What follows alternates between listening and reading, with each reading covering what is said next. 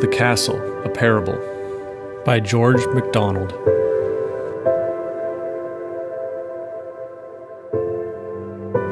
On the top of a high cliff, forming part of the base of a great mountain, stood a lofty castle. When or how it was built, no man knew, nor could anyone pretend to understand its architecture. Everyone who looked upon it felt that it was lordly and noble.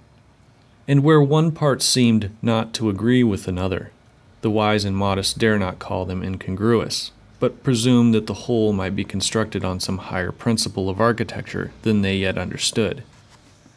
What helped them to this conclusion was that no one had ever seen the whole of the edifice, that even of the portion best known, some part or other was always wrapped in thick folds of mist from the mountain, and that when the sun shone upon this mist, the parts of the building that appeared through the vaporous veil were strangely glorified in their indistinctness, so that they seemed to belong to some aerial abode in the land of the sunset, and the beholders could hardly tell whether they had ever seen them before, or whether they were now for the first time partially revealed. Nor, although it was inhabited, could certain information be procured as to its internal construction. Those who dwelt in it often discovered rooms they had never entered before. Yea, once or twice, whole suites of apartments, of which only dim legends had been handed down from former times. Some of them expected to find one day secret places filled with treasures of wondrous jewels, amongst which they hoped to light upon Solomon's ring, which for ages disappeared from the earth but which had controlled the spirits, and the possession of which made a man simply what a man should be the king of the world. Now and then, a narrow, winding stair hitherto untrodden would bring them forth on a new turret, whence new prospects of the circumjacent country were spread out before them.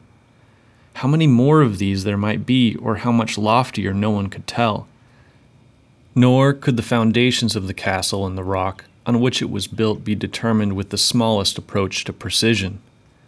Those of the family who had given themselves to exploring in that direction found such a labyrinth of vaults and passages and endless successions of down-going stairs out of one underground space into yet lower that they came to the conclusion that at least the whole mountain was perforated and honeycombed in this fashion. They had a dim consciousness, too, of the presence in those awful regions, of beings whom they could not comprehend.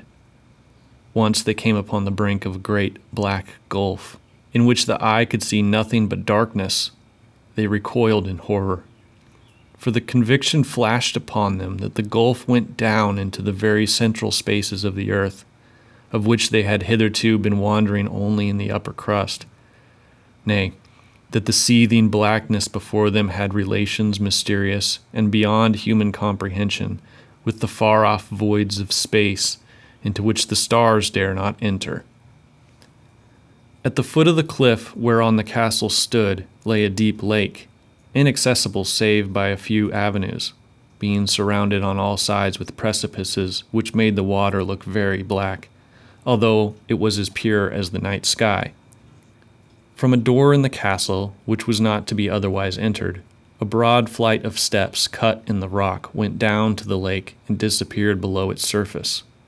Some thought the steps went to the very bottom of the water. Now, in this castle there dwelt a large family of brothers and sisters. They had never seen their father or mother. The younger had been educated by the elder, and these by an unseen care and ministration, about the sources of which they had, somehow or other, troubled themselves very little. For what people are accustomed to, they regard as coming from nobody, as if help and progress and joy and love were the natural crops of chaos or old night. But tradition said that one day, it was utterly uncertain when, their father would come and leave them no more, for he was still alive, though where he lived nobody knew. In the meantime, all the rest had to obey their eldest brother and listen to his counsels but almost all the family was very fond of liberty, as they called it, and liked to run up and down, hither and thither, roving about with neither law nor order, just as they pleased, so they could not endure their brother's tyranny, as they called it. At one time they said that he was only one of themselves, and therefore they would not obey him, at another that he was not like them and could not understand them, and therefore they would not obey him. Yet sometimes, when he came and looked them full in the face, they were terrified and dared not disobey, for he was stately and stern and strong. Not one of them loved him heartily, except the eldest sister, who was very beautiful and silent, and whose eyes shone as if light lay somewhere deep behind them. Even she, although she loved him, thought him very hard sometimes. For when he had once said a thing plainly, he could not be persuaded to think it over again. So even she forgot him sometimes, and went her own ways, and enjoyed herself without him. Most of them regarded him as a sort of watchman, whose business it was to keep them in order, and so they were indignant and disliked him. Yet they all had a secret feeling that they ought to be subject to him, and after any particular act of disregard, none of them could think with any peace of the old story about the return of their father to his house. But indeed, they never thought much about it, or about their father at all. For how could those who cared so little for their brother, whom they saw every day, care for their father, whom they had never seen? One chief cause of complaint against him was that he interfered with their favorite studies and pursuits, whereas he only sought to make them give up trifling with earnest things and seek for truth and not for amusement from the many wonders around them. He did not want them to turn to other studies or to eschew pleasures, but in those studies to seek the highest things most, and other things in proportion to their true worth and nobleness this could not fail to be distasteful to those who did not care for what was higher than they. And so matters went on for a time, and they thought they could do better without their brother. And their brother knew that they could not do it all without him, and tried to fulfill the charge committed into his hands. At length, one day, for the thought seemed to strike them simultaneously, they conferred together about giving a great entertainment in their grandest rooms to any of their neighbors who chose to come or indeed to any inhabitants of the earth or air who would visit them. They were too proud to reflect that some company might defile even the dwellers in which was undoubtedly the finest palace on the face of the earth. But what made the thing worse was that the old tradition said that the rooms were to be kept entirely for the use of the owner of the castle. And indeed, whenever they entered them, such was the effect of their loftiness and grandeur upon their minds that they always thought of the old story and could not help believing it. Nor would the brother permit them to forget it now, but, appearing suddenly amongst them, when they had no expectation of being interrupted by him, he rebuked them, both for the indiscriminate nature of their invitation and for the intention of introducing anyone, not to speak of some who would doubtless make their appearance on the evening in question, into the rooms kept sacred for the use of the unknown Father. But by this time, their talk with each other had so excited their expectations of enjoyment, which had previously been strong enough, that anger sprung up within them at the thought of being deprived of their hopes. And they looked at each other in the eyes, and the look said, We are many, and he is one. Let us get rid of him, for he is always finding fault and thwarting us in the most innocent pleasures, as if we would wish to do anything wrong. So without a word spoken, they rushed upon him. And although he was stronger than any of them, and struggled hard at first, yet they overcame him at last. Indeed, some of them thought he yielded to their violence long before they had mastery of him, and this very submission terrified the more tender hearted among them. However, they bound him, carried him down many stairs, and having remembered an iron staple in the wall of a certain vault, with a thick rusty chain attached to it. They bore him thither, and made the chain fast around him. There they left him, shutting the great gnarring brazen door of the vault as they departed for the upper regions of the castle. Now all was in a tumult of preparation. Everyone was talking of the coming festivity, but no one spoke of the deed they had done. A sudden paleness overspread the face, now of one and now of another, but it passed away, and no one took notice of it. They only plied the task of the moment the more energetically. Messengers were sent far and near, not to individuals or families, but publishing in all places of concourse a general invitation to any who chose to come on a certain day and partake for certain succeeding days of the hospitality of the dwellers in the castle. Many were the preparations immediately begun for complying with the invitation, but the noblest of their neighbors refused to appear, not from pride, but because of the unsuitableness and carelessness of such a mode. With some of them, it was an old condition in the tenure of their estates that they should go to no one's dwelling except visited in person and expressly solicited.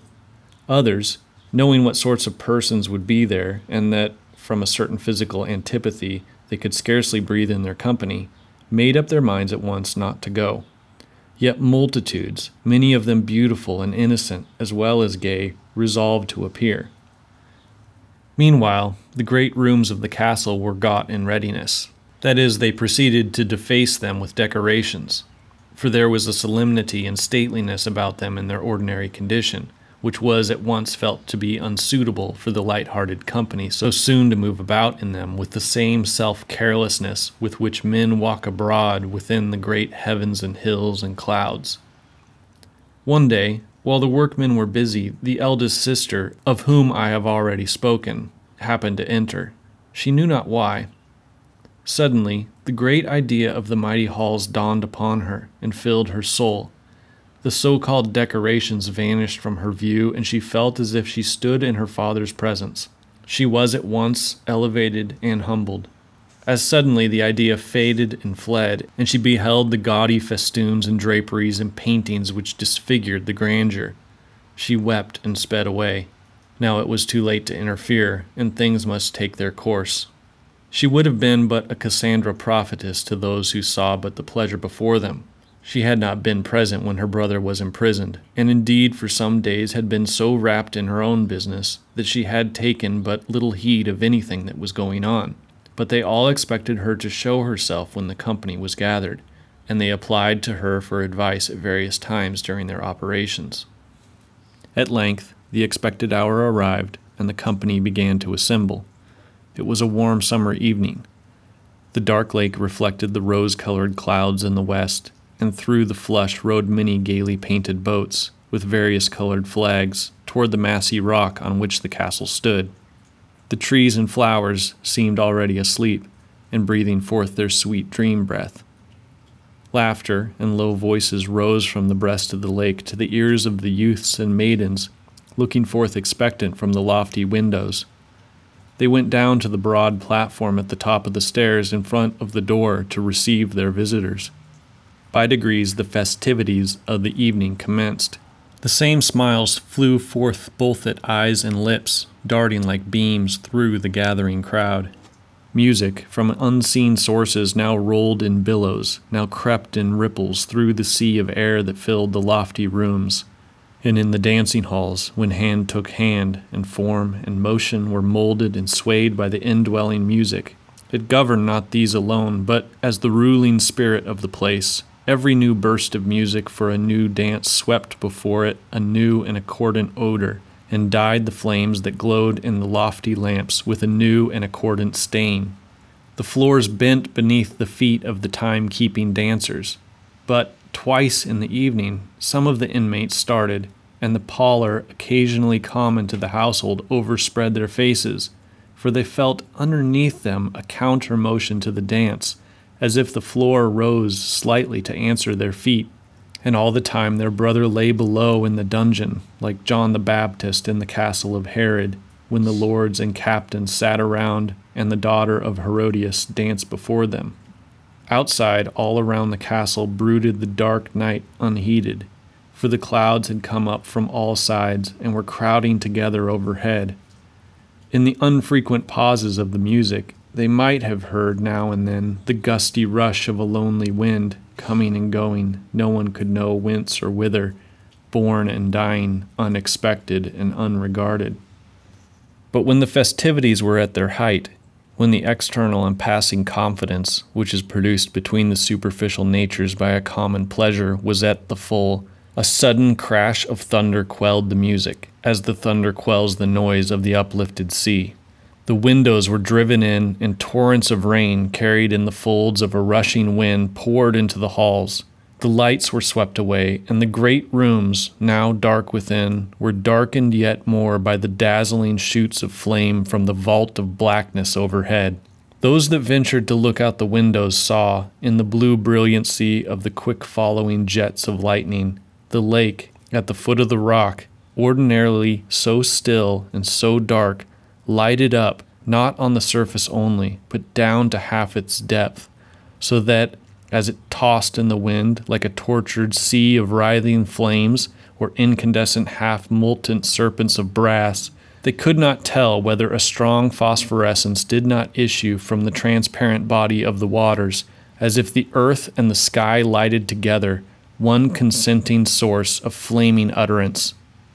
Sad was the condition of the late plastic mass of living form that had flowed into shape at the will and law of the music. Broken into individuals, the common transfusing spirit withdrawn, they stood drenched, cold, and benumbed with clinging garments. Light, order, harmony, purpose departed, and chaos restored. The issuings of life turned back on their sources, chilly and dead. And in every heart reigned that falsest of despairing convictions that this was the only reality, and that was but a dream. The eldest sister stood with clasped hands and downbent head, shivering and speechless as if wanting for something to follow. Nor did she wait long. A terrible flash and thunder peal made the castle rock, and in the pausing silence that followed, her quick sense heard the rattling of a chain far off, deep down, and soon the sound of heavy footsteps, accompanied with the clanking of iron, reached her ear. She felt that her brother was at hand even in the darkness and amidst the bellowing of another deep bosomed cloud monster, she knew that he had entered the room. A moment after, a continuous pulsation of angry blue light began, which, lasting for some moments, revealed him standing amidst them. Gaunt, haggard, and motionless, his hair and beard untrimmed, his face ghastly, his eyes large and hollow, the light seemed to gather around him as a center. Indeed, some believed that it throbbed and radiated from his person and not from the stormy heavens above them. The lightning had rent the wall of his prison and released the iron staple of his chain, which he had wound about him like a girdle. In his hand he carried an iron fetter bar, which he had found on the floor of the vault. More terrified at his aspect than at all the violence of the storm, the visitors, with many a shriek and cry, rushed out into the tempestuous night. By degrees, the storm died away, and its last flash revealed the forms of the brothers and sisters lying prostrate with their faces on the floor, and that fearful shape standing motionless amidst them still. Morning dawned, and there they lay, and there he stood. But at a word from him, they arose and went about their various duties, though listlessly enough. The eldest sister was the last to rise, and when she did, it was only by a terrible effort that she was able to reach her room, where she fell again on the floor. There she remained lying for days. The brother caused the doors of the great suites of the room to be closed, leaving them just as they were, with all the childish adornment scattered about and the rain still falling in through the shattered windows. Thus let them lie, said he, till the rain and the frost have cleansed them of paint and drapery. No storm can hurt the pillars and arches of these halls. The hours of this day went heavily. The storm was gone, but the rain was left. The passion had departed, but the tears remained behind. Dull and dark, the low misty clouds brooded over the castle and the lake and shut out all the neighborhood. Even if they had climbed to the loftiest known turret, they would have found it swathed in a garment of clinging vapor, affording no refreshment to the eye and no hope to the heart. There was one lofty tower that rose sheer a hundred feet above the rest, and from which the fog could have been seen lying in a gray mass beneath but that tower they had not yet discovered, nor another close beside it, the top of which was never seen, nor could be, for the highest clouds of heaven clustered continually around it. The rain fell continuously, though not heavily without, and within too there were clouds from which dropped the tears which are the rain of the Spirit. All of the good life seemed for the time departed, and their souls lived but as leafless trees that had forgotten the joy of summer, and whom no wind prophetic of spring had yet visited. They moved about mechanically, and had not strength enough left to wish to die. The next day the clouds were higher, and a little wind blew through such loopholes in the turrets as the false improvements of the inmates had not yet filled with glass, shutting out as the storm, so the serene visitings of the heavens. Throughout the day, the brother took various opportunities of addressing a gentle command, now to one and now to another of his family. It was obeyed in silence. The wind blew fresher through the loopholes and the shattered windows of the great rooms, and it found its way by unknown passages to faces and eyes hot with weeping. It cooled and blessed them. When the sun arose the next day, it was a clear sky. By degrees, everything fell into the regularity of subordination. With the subordination came increase of freedom. The steps of the more youthful of the family were heard on the stairs and in the corridors more light and quick than ever before. Their brother had lost the terrors of aspect produced by his confinement, and his commands were issued more gently and oftener with a smile than in all their previous history. By degrees, his presence was universally felt through the house. It was no surprise to any one at his studies to see him by his side when he lifted up his eyes, though he had not before known that he was in the room. And although some dread still remained, it was rapidly vanishing before the advances of a firm friendship. Without immediately ordering their labors, he always influenced them and often altered their direction and objects. The change soon evident in the household was remarkable. A simpler, nobler expression was visible on all the countenances.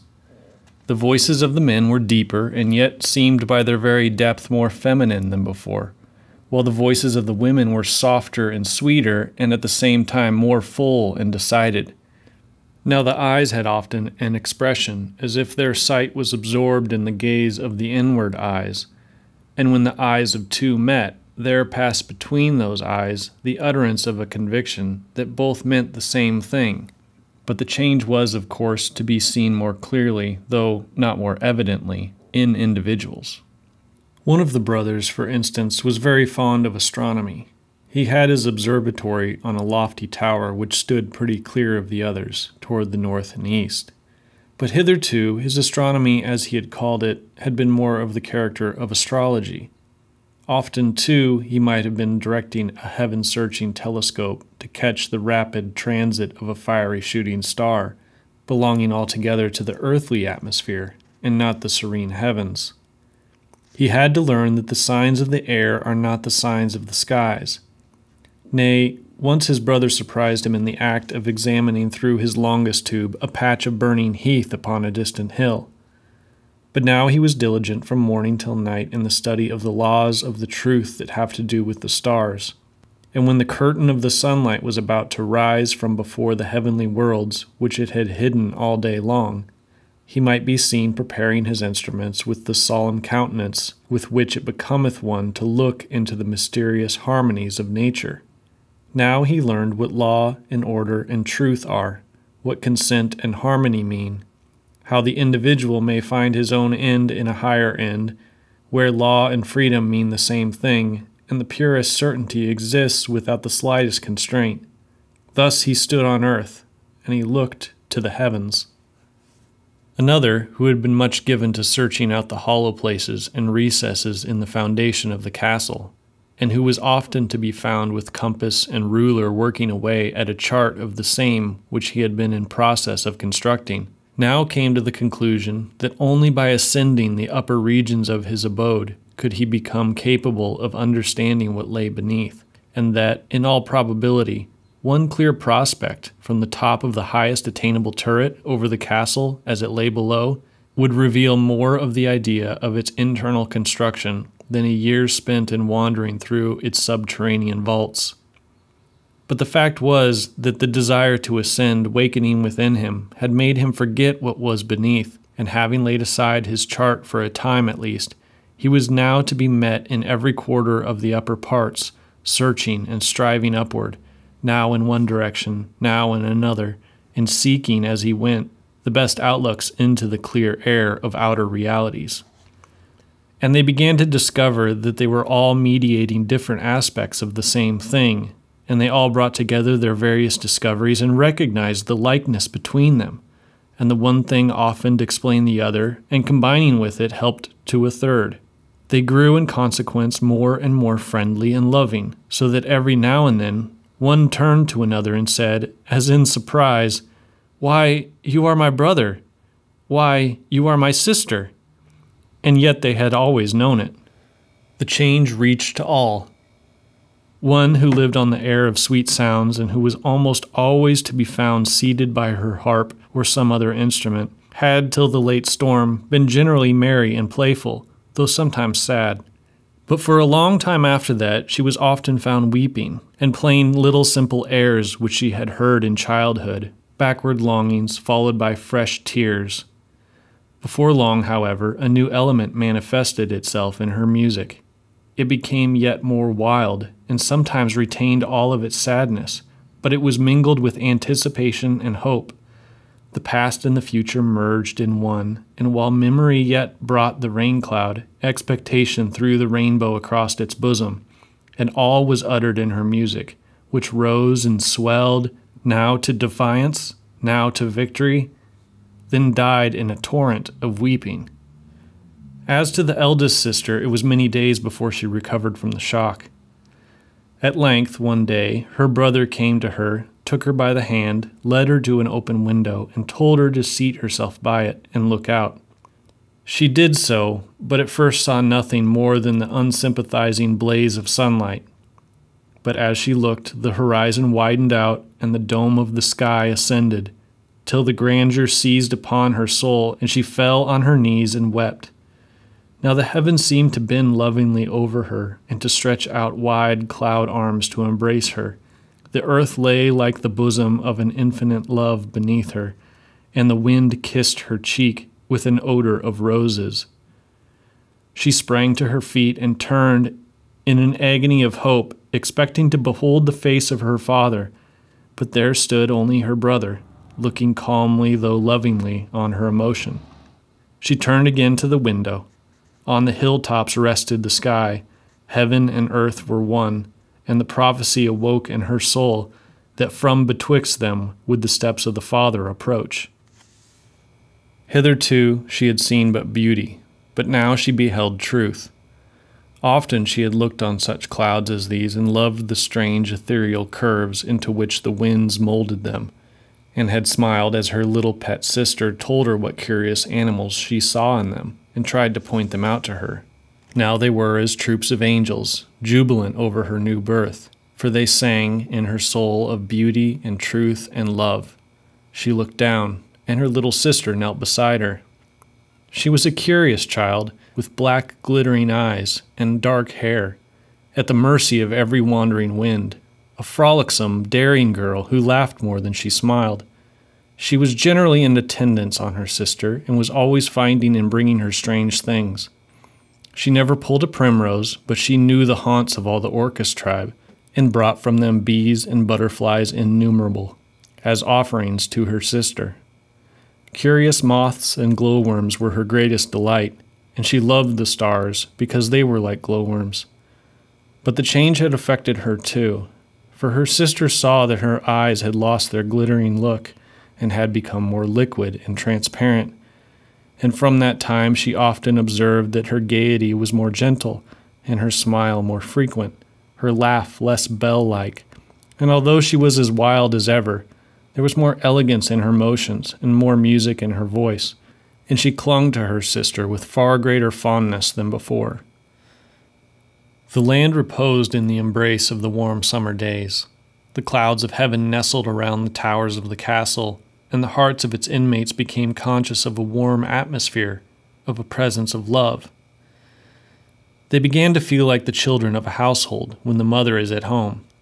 Their faces and forms grew daily more and more beautiful, till they wondered as they gazed on each other. They were often visited, especially the eldest sister, by sounds that no one heard by themselves, issuing from woods and waters, and by forms of love that lightened out of flowers and grass and great rocks. Now and then the young children would come in with a slow, stately step, and with great eyes that looked as if they would devour all the creation, say that they had met the Father amongst the trees, and that he had kissed them. And, added one of them once, I grew so big. But then others went out to look, and they could see no one. And some said it must have been the brother, who grew more and more beautiful and loving and reverend, and who had lost all traces of hardness so that they wondered they could ever have thought him stern and harsh. But the eldest sister held her peace and looked up, and her eyes filled with tears. Who can tell, thought she, but the little children know more about it than we? Often at sunrise might be heard their hymn of praise to their unseen Father, whom they felt to be near, though they saw him not. Some words thereof once reached my ear through the folds of the music in which they floated, as in an upward snowstorm of sweet sounds. And these are some of the words I heard. But there was much I seemed to hear which I could not understand, and some things which I understood but I cannot utter again.